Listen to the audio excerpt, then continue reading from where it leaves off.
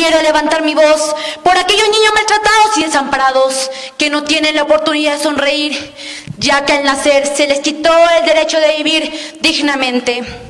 Querido jurado calificador, docentes, compañeras y amigos todos, tengan ustedes muy buenos días. Mi nombre es Ariane Quispe Capcha y vengo a representar al prestigioso colegio María Auxiliadora.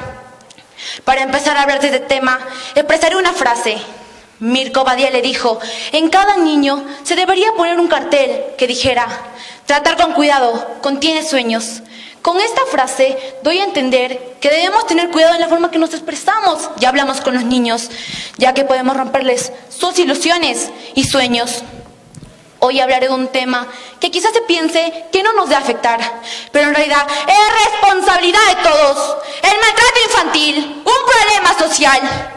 Cuando hablamos de maltrato infantil, nos referimos a una acción u omisión no accidental hacia el trato del menor por parte de sus cuidadores. Y esto poco a poco va afectando al desarrollo de su personalidad. Pensamos que solo es un empujón, una cachetada y aún más un golpe. Pero no es así. Al hablar de maltrato infantil, no es justificación de los padres decir, qué pena, se me pasó la mano, lo siento. Para mejor tratar o contar este tema, llegar al corazón de cada uno de ustedes, contaré la historia de Elliot, quien nació en una familia como las muchas que existen. Papá, se quitó sin medir palabras, dejando sola a la madre, quien volvía loca del trabajo, llena de frustraciones, cansancio y mal humor. Luego, descargaba golpes en el frágil cuerpo de Elliot. Debido a esto, él decidió irse a la calle. No encontró camino para sobrevivir. Aprendió a pedir limosna y a robar. Cargado de necesidades, conoció a un compañero de la calle, el cual, a base de engaños, lo integró al mundo de los vicios y desde ese momento se convirtió en un drogadicto impulsivo y agresivo con quien deseaba apoyarlo a cambiar. Elliot se sentía libre. ¿Pero de qué libertad se habla si no tienes dónde dormir o dónde comer? ¿Qué personas tenía la sociedad si creció en un ambiente hostil y de pocos valores? Sin embargo, siguió su camino sin más distracción sin importarle su soledad, sin importarle las necesidades que padecía, sin rumbo y sin vida. Como dijo Carmen Inger, lo que tú le haces a un niño, el niño la sociedad. Si a un niño lo lastimas, lo maltratas, él siempre lo recordará. Y lo hará a sus hijos, los hijos a sus nietos, y así seguirá la cadena hasta no poder más. Gracias a María Montessori puedo decir lo que la mano hace, la mente lo recuerda. En realidad, ¿esto es lo que se quiere para los niños? ¿Cuántos ejemplos más debo dar para que entiendan que la violencia no es la única solución para educar? Si la familia es la base nuclear de la sociedad, ¿por qué nos tienen que hacer daño? ¿Dónde están los padres sin abrir comunicación? Debido a este enojo que violenta mi alma, quiero que entiendan que esto no está bien no llego a entender hasta ahora.